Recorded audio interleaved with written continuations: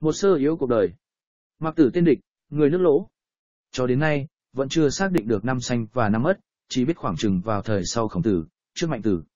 Ban đầu có theo học đạo nho, nhưng về sau cho rằng, nhân nghĩa của nhà nho gần như lầm cẩm, lễ nhạc của nhà nho quá ư phiền toái, nên tự khởi xướng ra học thuyết mới, nặng về công lợi và giá trị thực dụng. Mạc Tử là một nhân vật cực lực phản đối chiến tranh, đã từng du hành qua các nước tể, vệ, tống, ngụy, Việt và sở, đến đâu cũng tuyên truyền thuyết phi công. Có lần tề sắp ra quân đánh lỗ, mặc Tử tức tốc sang gặp thẳng tướng tề là Hạng ưu, nhắc lại sự tích ngô đánh Việt, hạ sở, phá tề đều đắc thắng cả, song kết cục là quốc phá gia vong, ngô vương phủ sai chết thảm, rồi kết luận rằng, tề mà đánh lỗ là một hành động sai lầm to. Tiếp theo, mặc Tử xin bệ kiến tề vương, vì chiến tranh là con dao hai lưỡi, thuyết phục được vua tề, bỏ ý định đánh lỗ. Trong đời mặc Tử, vũ nổi tiếng nhất là cản được sở đánh tống. Số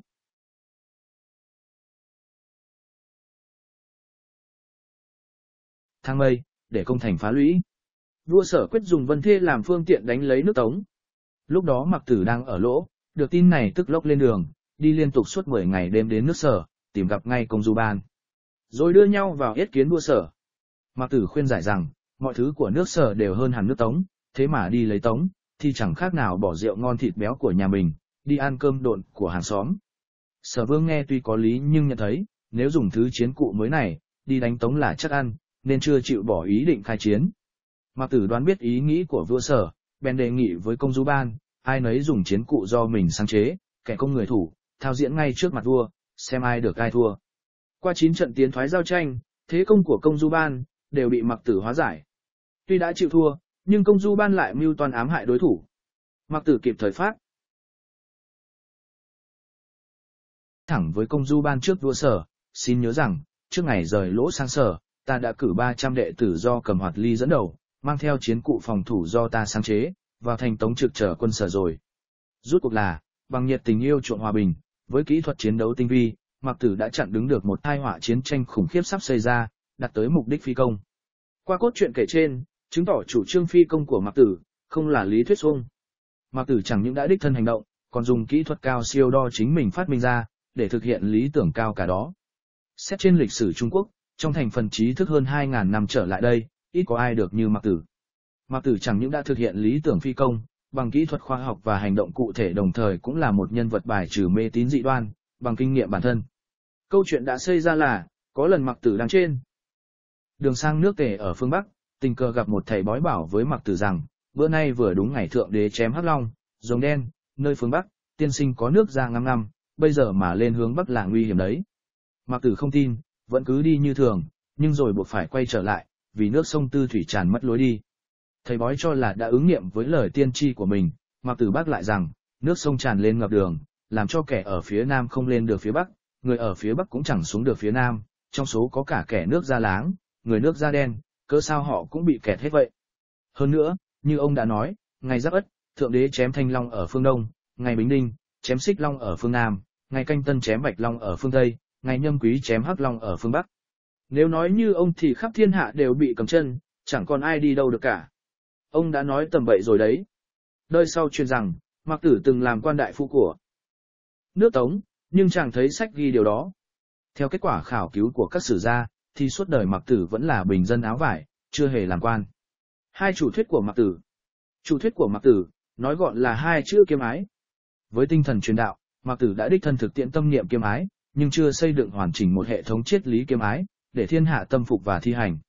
Sở dĩ Mặc Tử có được một địa vị quan trọng trên lịch sử văn hóa cổ Trung Quốc, không do vai trò nhà triết học hay nhà tôn giáo, mà là nhờ ý chí chống xâm lăng, bằng chủ trương phi công, với nhiệt tình cứu thế, nghị lực thực hành và tinh thần hy sinh cao cả, đã cảm động đến muôn đời. Mặc Tử xuất thân Hàn Vi, tuy sinh trưởng tại Lỗ, một nước bảo tồn hơn bất cứ nước nào hết, nền văn hóa nhà Chu, và đã từng theo học đạo nho, nhưng không chủ trương chấn hương văn hóa nhà Chu như Khổng Tử, mà là đi theo con đường cải cách tích cực, mong tạo dựng được một xã hội mới, an bình, có lợi cho giới bình dân. Hoàn cảnh quốc tế lúc bấy giờ, có thể nói là hỗn loạn vô cùng, trong nội bộ các nước luôn luôn xây ra những vụ thoáng nghịch, giữa các nước thì dùng võ lực công phạt lẫn nhau. Với lòng ba cái vị tha, Mạc Tử đã buôn ba giữa các nước, khẩn thiết kêu gọi kiêm ái phi công. Nhưng vì chủ trương kiêm ái phi công của Mạc Tứ nghịch lại với chính sách binh nông, nuôi quân ở nhà nông, của vua chúa các nước đương thời, cho nên đã gặp nhiều trở ngại, khó thực hiện nổi. Chẳng hạn như, khi mặc tử sang nước sở dân thứ nhì, dâng tác phẩm của mình lên sở Huệ Vương.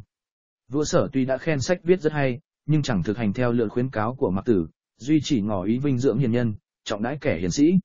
Thấy vậy, Mặc Tử liền tạ từ rằng, địch văn hiền nhân tiến, đã bất hành, bất thụ kỳ thưởng, nghĩa bất tính, bất xử kỳ triều, khất kim thư vị dụng, thỉnh thoại hành dĩ. Địch này nghe nói, khi hiển sĩ đã đem lời tiến dâng mà đạo chẳng hành, thì nào dám nhận phân thưởng, khi nghĩa chẳng được. Nghe theo, thì không thể cộng sự tại triều, mãi đến nay, sách của tôi chưa được áp dụng, thì xin cho lui thôi. Khổng tử cùng mạnh tử, trước sau đều có dẫn nhóm học trò đi chu du liệt quốc, nghiễm nhiên thành một tập đoàn sĩ nhân, dựa vào lớp người quyền thế trên thượng tầng xã hội, để hoạt động chính trị, khỏi làm cũng có ăn. Trái lại, Mạc Tử cùng môn đệ nhà Mặc, vẫn sống tự túc với nghề nghiệp lao động thợ thuyền, bằng tinh thần khắc khổ, trong khi phải đi tuyên truyền, vận động thuyết kiêm ái phi công. Cho nên Mạc Tử rất ác cảm với hàng nho sĩ. Có dân mặc Tử đến nước vệ, mục kích người vệ sống theo lối xa xỉ, rất cảm khái mà nói với quan đại phu nước vệ rằng, vệ là một nước nhỏ, lại nằm vào giữa hai nước lớn tể và tấn, chẳng khác nào nhà nghèo sống trong xóm nhà giàu, rồi học theo thói xa hoa, ngoài khả năng của mình, thì tránh sao cho khỏi sẽ mất nước sớm. Biết rằng vua quan các nước đều vì quyền lợi riêng tư, chẳng ai chịu thi hành chính sách phi công của mình, nên mặc tử và Tín đổ theo mặc học, tự tổ chức lấy đoàn thể xã hội, người đứng đâu gọi là cự tử, hình thành một lực lượng dân gian, cố gắng thể hiện chủ thuyết kiêm ái phi công, bằng hành động tích cực, như việc ngăn sở đánh tống đã nói ở đoạn trên. Hành động tích cực đó, là dùng giải pháp phi công, để đạt tới lý tưởng kiêm ái. Một đoàn thể nhân dân muốn có sức mạnh thật sự, thì phải kết nạp được một số đông người có lý tưởng chung, và sẽ hành động nhất trí, khi có lệnh của người đứng đầu.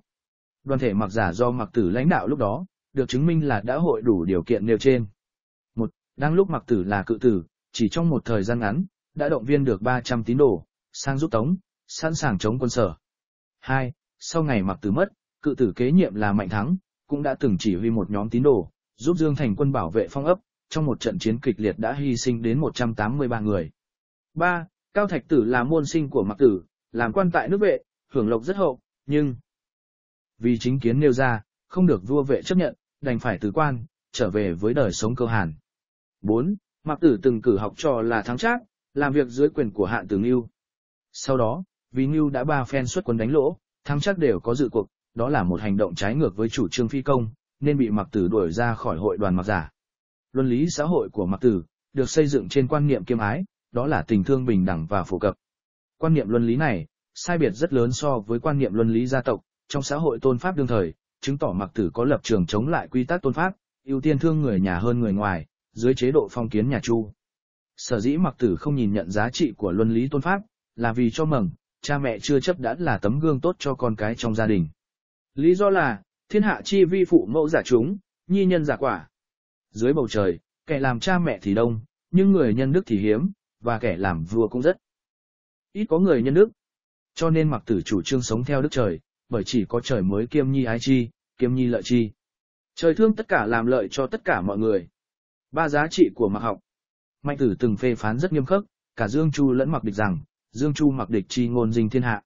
Dương thị vị ngã, thị vô quân giã, mặc thị kiêm ái, thị võ phụ giã, vô quân vô phụ, thị cầm thú giã. Nay thuyết của Dương Chu cùng mặc địch lan tràn thiên hạ. Họ Dương chủ trương bị kỷ, ấy là không có chúa, họ mặc chủ trương kiêm ái, đó là không có cha, kẻ không chúa không cha, là loài cầm thú vậy. Tuấn Tử cũng có lời phê phán tương tự, cho rằng thuyết của mặc tử làm đảo lộn luân thường, mà thoáng nghe như là có lý, rất dễ mê hoặc người đời. Tuân Tử vốn chủ trương túc dụng, cho nên chê mặc tử khuyên người ta thắt lưng bộ bụng, chỉ làm cho người đời, sống trong cảnh nghèo khó và buồn tẻ thôi. Cũng vì vậy mà mặc học đã bắt đầu đi vào mạt vận từ thời Tây Hán. Tuy nhiên, tinh thần nghĩa hiệp của những người theo mặc học, đã bén dễ ăn sâu vào hạ tầng xã hội và tiếp tục phát huy. Tinh thần nghĩa hiệp đó, là thái độ công bằng, lập trường ngay thẳng, hết lòng bên vực cho bình dân và chủ trì chính nghĩa cho xã hội, bằng lời nói và hành động hào hiệp, coi thường tánh mạng vì hai chữ tín nghĩa. Tinh thần nghĩa hiệp ấy được kết hợp với ý thức dân tộc, đã phát huy công dụng về mặt chính trị xã hội lớn lao, như hội Bạch Liên đã trỗi dậy vào cuối thời nhà Nguyên Mông Cổ, cũng như Thanh Bang và Hồng Bang hoạt động mạnh mẽ vào cuối thời nhà Minh. Truy nguyên ra, những tổ chức đó đều bắt nguồn từ tinh thần nghĩa hiệp của tập đoàn dân sự, mà Mạc Tử là người sáng lập đầu tiên. Ở phương Tây, thượng đế của công giáo tượng trưng cho tinh thần bác ái, và từ quan niệm trước Đức Chúa Trời, ai nấy đều bình đẳng, dẫn tới quan niệm trước pháp luật ai nấy đều bình đẳng. Đồng nghĩa đó, luân lý căn bản của mặc học là kiêm ái, thì đương nhiên cũng dẫn tới quan niệm bình đẳng. Phổ quát trong xã hội, không phân biệt giai cấp và tôn giáo. Riêng về chủ trương phi công của Mạc Tử, thì rõ ràng là lập trường phản đối chiến tranh, tinh thần yêu chuộng hòa bình, đồng thời cũng là phương pháp chính yếu của Mạc Tử, nhằm đạt tới lý tưởng kiêm ái. Vậy Mạc Tử là một triết gia, giàu nhiệt tình tôn giáo và tinh thần hy sinh, khổ hạnh,